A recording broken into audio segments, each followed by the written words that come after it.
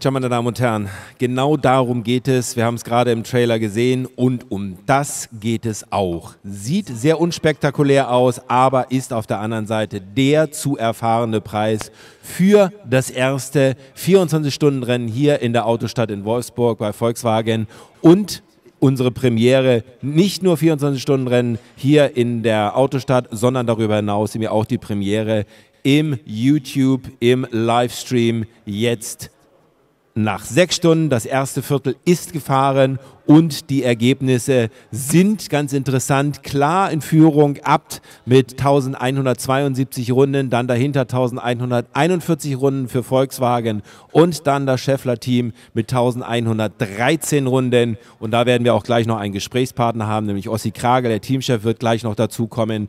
Aber wir werden jetzt erst einmal einen kurzen Blick in die Boxengasse werfen, denn wir haben jetzt zur vollen Stunde jeweils den Wechsel und man kann es sehen, die Boxengasse ist ruhig, aber es ist ein gutes Zeichen, wenn, wenn die Boxengasse ruhig ist, haben wir keine Probleme bei den Fahrzeugen und wir hatten in den ersten sechs Stunden, im ersten Viertel der 24 Stunden der äh, RCCO hier in der Autostadt in Wolfsburg hatten wir schon einige Probleme. Es waren vor allen Dingen Lichtprobleme. Im Moment haben wir keine Lichtprobleme, ganz einfach deswegen, weil wir noch für den späteren äh, Fernsehauftritt der RCCO im äh, N3-Journal Hallo Niedersachsen.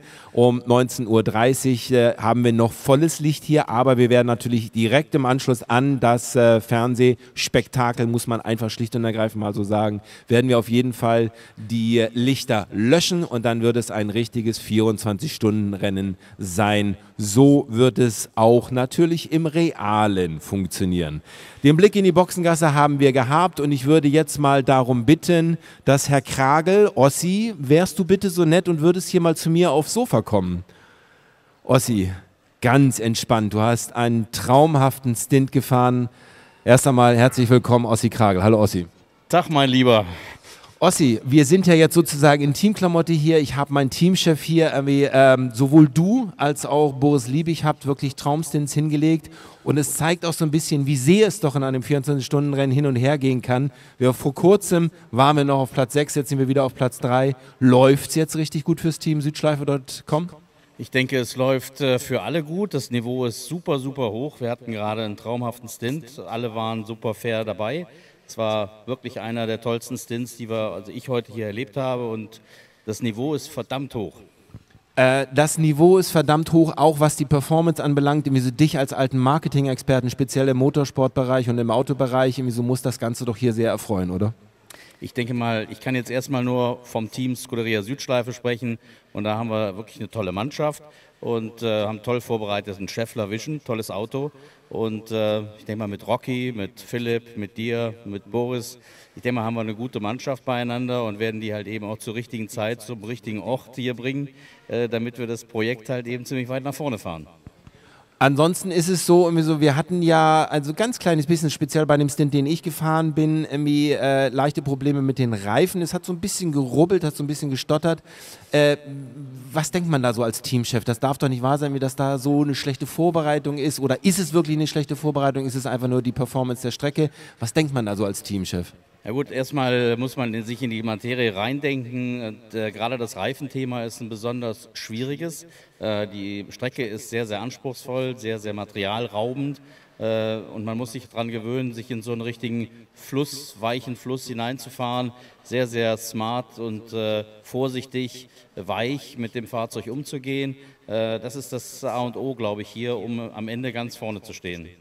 Wir haben ein bisschen Abstand zu den beiden Führenden, zu Abt und äh, Volkswagen, aber wir haben deutlich uns herangearbeitet und auch Mike Rockenfeller hat in seinem ersten Stand wirklich eine sehr, sehr gute Performance abgeliefert. Kurzes Schlusswort, was erwartest du? Minimum Podium? Du, wir erwarten erstmal sau viel Spaß für die Scuderia Südschleifenmannschaft.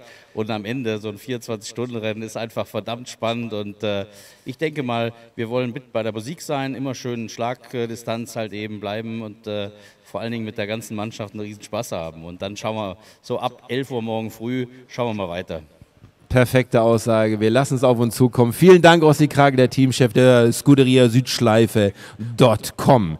Wir kommen jetzt nochmal zu der Streckenvorstellung, da wir ihn gerade auch auf der Strecke haben. Schauen wir doch mal uns das Video an, was Frank Bieler wo er die Strecke moderiert hat. Ich werde euch jetzt mal versuchen, eine Runde hier auf unserer Slotkarbahn zu erklären. Sehr interessant in diesem Jahr. Ähm, wir haben Start und Ziel, dann einen relativ flotten äh, Linksbogen, wo man aber auch schon dosiert am Gas sein muss, geht über in eine auch schnelle Rechts, aber es geht nicht wirklich voll. Also immer gefühlvoll mit dem Gas umgehen. Dann können wir voll beschleunigen bis zur Spitzkehre. Die ist aber, die hat einen leichten Rechtsknick und dann 180 Grad links, also sehr gefährlich beim Reinbremsen. Dann wieder gerade zurück, auch der Rechtsbogen und Linksbogen leicht lupfen, sehr schnelle Passage. Dann eine etwas engere Rechtskurve auf die Gegengrade und dann haben wir noch mal eine ganz schlimme Schikane, kurz bevor wir dann irgendwann am Ende unserer Runde sind, äh, die dann hinführt in eine ganz, ganz enge 180 Grad Rechtskurve. Vollgas Linksbogen, Haarnadel links, wieder schön dosiert raus beschleunigen in den Rechtsbogen rein und dann die finale 180 Grad wieder auf Start und Ziel und da können wir voll aufziehen bis in die schnelle Linkskurve nach Start und Ziel rein wieder. Wir hatten natürlich eigentlich immer irgendwo sehr interessante Strecken und äh, jede Strecke hat so ihre, ihre Schwierigkeiten, so auch diese hier. Ähm, es ist dann vielleicht mal, der Unterschied besteht dann darin, vielleicht mal 10 oder 15 Meter länger oder kürzer.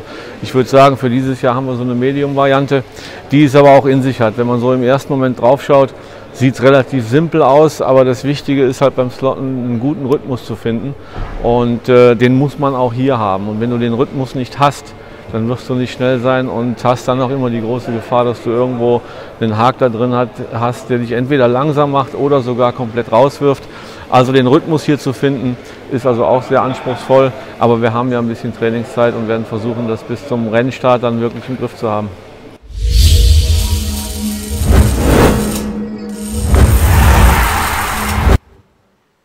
Ja, man muss fast sagen, das ist im Moment natürlich für Audi, so nachdem äh, ähm, Frank Bieler gerade sehr schön die Strecke beschrieben hat, irgendwie so nicht so richtig hundertprozentig läuft, irgendwie, aber es gibt auch andere Teams, für die es nicht so richtig läuft. Irgendwie. Und wer weiß, wo am Ende des Tages, nämlich am morgigen Sonntag um 12 Uhr, welches Team auch immer steht. Wir haben schon viele, viele Wechsel erlebt.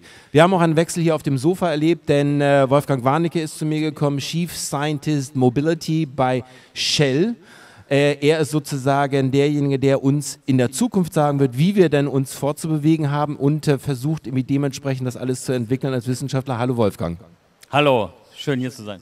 Wolfgang, äh, es ist ein sehr, sehr interessantes Thema mir und als ich davon das erste Mal gehört habe, war ich wirklich sehr begeistert und war mm, aber auf der anderen Seite auch sehr, mm, ich möchte fast sagen, fragwürdig. Habe ich so gedacht, wie soll denn das bitte schon funktionieren?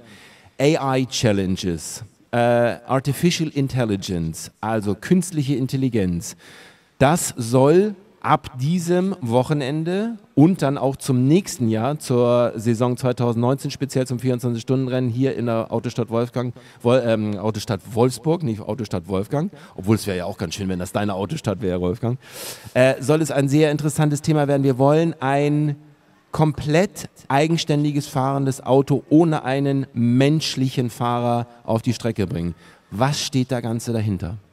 Ich glaube, die Idee bei RCCO ist natürlich zu versuchen, die Mobilität von der Straße schon vorherzusehen, zu duplizieren und hier Dinge nach vorne zu bringen. Und wenn wir uns nur mal die Straßenautos äh, ansehen, äh, die neuen Sensoren und äh, die Digitalisierung, die es ermöglicht, diese Fahrassistenzsysteme, die wir heute haben, Beispiel rückwärts automatisch einparken oder diesen Lane Assistant, dass man äh, wirklich äh, auf der Fahrspur bleibt und all solche Dinge, äh, die kommen einfach im Großen und die versuchen wir natürlich hier im Kleinen einfach mit der in der Automobilindustrie gemeinsam schon vorherzusehen. Das heißt, wir werden versuchen, den Mensch immer weniger herauszunehmen, ob auf einem großen Auto, äh, auf der Straße, als auch das natürlich vorherzusehen hier zum Beispiel auf der Slotcarbahn.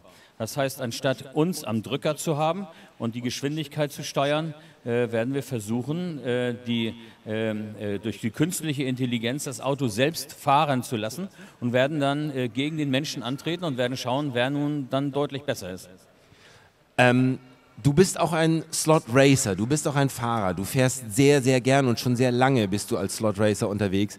Hat man dann am Ende des Tages so ein ganz kleines bisschen Angst, wie ein Schachspieler, der Angst hat, gegen einen Schachcomputer zu spielen, sodass man eventuell verlieren könnte gegen die künstliche Intelligenz? Ja, das ist sicherlich ein ganz deutliches Thema, aber ich glaube, wir müssen uns äh, mit dem auseinandersetzen und äh, hat ja auch viele positive Eigenschaften. Ähm, äh, wenn wir zum Beispiel ähm, äh, uns vorstellen, nachher im Großen älter zu werden, die Sinne sind nicht mehr so gut, ähm, äh, schneller Verkehr und so weiter, schlechtes Wetter und äh, die ganzen Assistenzsysteme, also die künstliche Intelligenz, die uns jetzt schon hilft, deutlich sicherer, schneller, komfortabler, effizienter ans Ziel zu kommen, das ist natürlich schon ein guter Vorteil für den Menschen. Bis hin nachher zum völlig autonomen Fahrzeug, also den sogenannten Robotcast. Äh, die wir sicherlich, wovon wir träumen, vielleicht mit Freunden ein Bier trinken zu gehen, nach Hause gefahren zu werden. Und so etwas natürlich zu duplizieren und hier äh, schon in der Applikation zu sehen im Kleinen, das ist natürlich eine äh, gute Idee und so versuchen wir auch gemeinsam mit der Automobilindustrie das äh, schon mal zu entwickeln. Kann es eventuell auch sein, dass diese Begrifflichkeit äh, AI oder künstliche Intelligenz so ein ganz kleines bisschen eigentlich schon längst in unser Leben Eingriff genommen hat und wir aber noch gar nicht das so benennen, weil, wie du es gerade eben gesagt hast, Lane Assistant einparken und so weiter. Mittlerweile sagt jeder irgendwie so, naja, wenn mein Auto das nicht hat, dann nehme ich das nicht und so weiter. Aber es ist eigentlich schon vorhanden und wir verstehen es bloß noch nicht so richtig als künstliche Intelligenz. Ja, das ist ein gutes Beispiel. Ich glaube, unser ganzes Leben ist natürlich schon deutlich komfortabler geworden. Ob das der automatisierte Kühlschrank ist, ob es die Smart Home, also automatische Lichtsteuerung ist, ganz viele Dinge. Und natürlich im Fahrzeug genauso, das, was du sagst, diese vielen kleinen Assistenzsysteme, die im Großen und Ganzen schon ganz viel helfen. Also eins der wichtigsten, glaube ich, für uns alle ist die automatisierte digitale Fahrstabilität. Ähm, also gerade im großen Motorsport äh, ist das ja heute eine große Diskussion, wie viele von äh, diesen Fahrstabilitätssystemen sollen eingesetzt werden und nicht. Und es gibt da einige, die sagen, naja, die richtigen Rennfahrer, die brauchen sowas nicht und äh, äh fühlen das über ein Popometer, wie die Fahraktivität ist. Aber andererseits ist natürlich was ganz Wichtiges, das im Motorsport zu haben und vor allen Dingen dann diese Entwicklung aus dem Motorsport zu übertragen auf die Straße.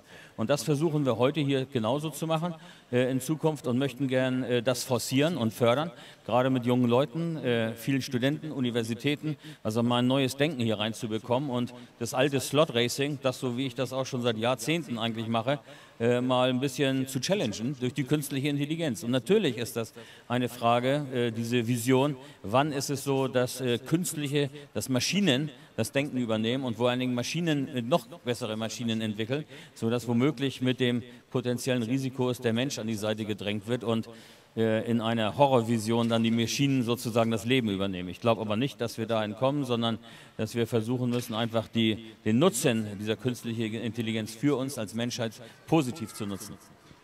Positiv zu nutzen, nämlich auch für die Slotcar-Familie, die sich hier sozusagen an diesem Wochenende in der Autostadt in Wolfsburg trifft und 24 Stunden Rennen fährt.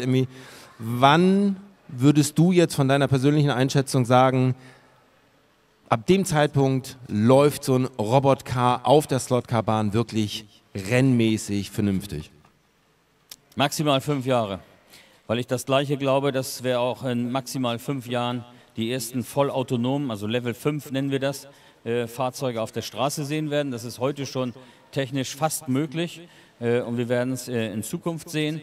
Äh, in abgegrenzten Gegenden, also Strecken, äh, ist es heute schon sehr gut. Das Problem ist einfach äh, nicht nur, dass das Fahrzeug sich alleine ähm, zurechtfindet auf der Straße, sondern unvorhergesehene Ereignisse zu erkennen. Auch hier auf der Strecke, wenn ein Fahrzeug alleine fahren würde, ist es relativ einfach, aber ein Fahrzeug mit anderen fahren zu lassen und zum Beispiel einen Unfall zu haben, dass ein Fahrzeug rausfällt und dann diese, wir nennen das Car-to-Car-Kommunikation zu ermöglichen, das ist, glaube ich, der größte Challenge und trotzdem glaube ich, dass in weniger als fünf Jahren wir das sehen werden und freue mich schon, gegen eine Maschine zu fahren. Spielst du auch Schach? Ja, früher, äh, ganz viel sogar. Äh, bin, glaube ich, sehr analytisch, manchmal auch sehr emotional und das macht natürlich Spaß, hier mit schon den Freunden und Kollegen gemeinsam im Team zu fahren und natürlich auch super mit äh, äh solchen Leuten wie Frank Bieler, Mike Rockenfeller und Co. Äh, fahren zu können, die auch im Großen einfach unheimlich gut sind und bin jedes Mal erstaunt, äh, wenn wirklich Profi-Motorsportler auf die Strecke kommen, wie schnell die dann das wirklich erfassen und wie gut die das umsetzen können vom Großen äh, aufs Kleine. Also man braucht am Ende des Tages eigentlich nur einen computergesteuerten Popometer von äh, Mike Bieler, äh, Mike Rockenfeller oder Frank Bieler irgendwie und dann werden wir das auf jeden Fall hinbekommen. Äh, eins noch irgendwie, äh, ich habe selten erlebt, irgendwie, dass jemand so klar und definiert irgendwie erklären kann, irgendwie, was man eigentlich vorhat. Die Challenge ist eröffnet, Artificial Intelligence ist eröffnet und wir fangen 2019 damit an. Vielen Dank, Wolfgang Warnecke. Gerne, gerne. Chassis. Ach, ganz genau, das Chassis. Wir haben das Chassis jetzt nochmal im Blick. Das sind die ersten, eine weitere Premiere. Man muss wirklich sagen, wir haben an diesem Wochenende wirklich sehr viele Premieren. Wir haben die ersten Entwürfe eines Chassis für ein äh, AI-Car hier gerade eben sehen können. Wir zeigen sie jetzt nochmal. Und äh, es wird von der RCCO entwickelt, von verschiedenen Fahrern, von verschiedenen Entwicklern. Und äh, was würdest du sagen? Wann steigen die ersten Werke ein und sagen, so, Mensch Jungs, das macht ihr aber richtig gut, da wollen wir mal mitmachen? Naja, glücklicherweise haben wir ganz viele Unterstützung aus der Automobilindustrie. Äh, ob das äh, der Volkswagen-Konzern ist, äh, Audi, äh, Scheffler, ähm, äh, ganz viele weitere, äh, wir bei Shell äh, sind da aktiv bei. Und natürlich ist einfach die Idee, dass wir helfen können, auch schon mal im Kleinen und für uns den Challenge zu geben, wie sehen die Fahrzeuge von morgen oder übermorgen aus. Und äh, da äh, sind einige von uns, äh, die dort sehr stark involviert sind im täglichen Leben und versuchen schon das vorherzunehmen, wie unsere zukünftigen PKWs aussehen. Ein zukünftiger PKW wird im Wesentlichen ein sogenannte ähm, ähm, ähm, Sandwich-Bauweise haben, wie ein, äh, ähm, äh, eine, eine, eine, eine flache äh, äh, äh Skateboard-Platte mit einer Achse vorne und hinten, dann vielleicht zwei Antriebsmotoren, entweder eine Vorderachse, Hinterachse, eventuell sogar Radnabenmotoren an allen vier Rädern und in der Mitte wird sich eine Plattform befinden und diese Plattform kann man sehr modular aufbauen. Genau das haben wir jetzt vorhergesehen und haben versucht, das umzusetzen, haben also eine zentrale Struktur mit einem Skelett, aus einem äh, Kohlefaser geprinteten Chassis. Äh, ganz neue Technologie, wird also gedruckt äh, mit Kohlefasern und nicht mehr gebacken und geklebt äh, äh, in einem Monocoque. Ähm, dann haben wir ähm, äh, derzeit noch vorgesehen einen zentralen Elektromotor, aber mit der Idee, diesen eventuell auch auf zwei, vielleicht sogar auf vier Elektromotoren pro Rad zu ähm, applizieren. Das hat den Vorteil, dass man hinterher sogar mit der Elektronik über unterschiedliche Drehmomentsteuerung äh, der einzelnen Motoren das Fahrverhalten des Fahrzeugs ändern kann. Also wenn man den äußeren, radäußeren äh, Motor zum Beispiel ein höheres Moment oder Drehzahl gibt, würde sich das automatisch das Fahrzeug in die Kurve drehen. Äh, in der Mitte, äh, wie auch in den heutigen batterieelektrischen Fahrzeugen, die kommen, mit sehr tiefem Schwerpunkt, dann das Batteriezellpack äh, zu haben. Parallel dazu aber ähm, äh, äh, kleine Module, die zum Beispiel äh, die Elektronik beherbergen, wie zum Beispiel hier ähm, das Lap-Timing, also die Rundenzeiten, äh, vielleicht sogar äh, Sensorik äh, wie Online-Kameraübertragung, sodass wir einzelne Module haben mit einem sehr leichten, stabilen Chassis, was aber ähm, mit sogar neuer ähm, äh, Federung an der Vorderachse, äh, äh, auch die gefederten Massen reduziert, was sehr steif ist, sehr stabil ist und vor allen Dingen modular aufgebaut werden kann, äh, sodass vielleicht auch weniger Fehlerquellen hineinkommen und auch die Wettbewerbsfähigkeit äh, besser da ist da wirklich im Prinzip jedes Fahrzeug das gleiche ist und wir über Plug and Play auch weitere Innovationen dann in das Fahrzeug bringen können. Also das, was auf der Straße heute schon angedacht wird, wollen wir in RCCO schon umsetzen und freue mich hier mit dem inneren Kern genau sowas entwickeln zu können. Interessant wird auch der Umstand sein, wie das ist äh, so wie wir ja jetzt gerade fahren, 1 zu 1 Autos auf 1 zu 24 runtergerechnet werden und jetzt wird es genau umgekehrt sein, 1 zu 24 auf 1 zu 1. Auf jeden Fall eine sehr spannende Zukunft für die RCCO und natürlich auch für diese AI Challenge, die sozusagen mit diesem Moment eröffnet worden ist und ich freue mich drauf, äh, ein ganz kleines bisschen ein Teil dieser ganzen Geschichte zu sein. Vielen Dank, Wolfgang Warnecke. Super Sache, danke. Tja, meine Damen und Herren, das war sicherlich sehr, sehr interessant und äh, ich muss ganz ehrlich sagen, ich bin wirklich immer wieder begeistert, irgendwie so Wolfgang Warnecke zuzuhören, weil er mit sehr viel Emotion, mit sehr viel unfassbarem Fachwissen das alles sehr, sehr gut erklärt. Und ich bin gespannt, 2019 hier wieder in der Autostadt in Wolfsburg werden wir das 24-Stunden-Rennen 2019 absolvieren. Datum steht noch nicht ganz fest, aber nichtsdestotrotz, wir werden hier wieder erscheinen und wir werden wieder unser Rennen hier fahren. Und dann werden wir sehen, wird das erste Robocar gegen die wirklich guten Slotcar-Fahrer hier auf der Strecke, auf der Slotfire-Strecke fahren oder aber werden sie sogar geschlagen davon.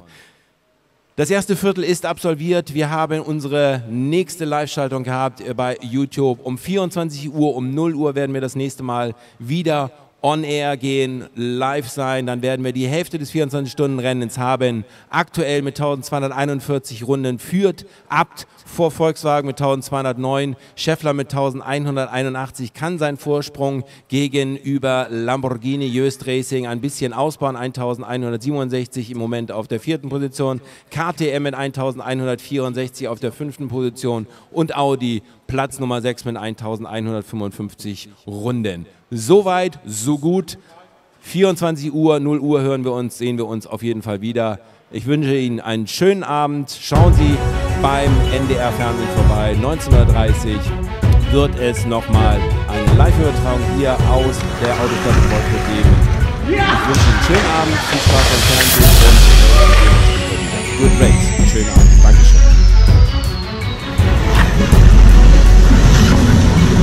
Yeah! stuff.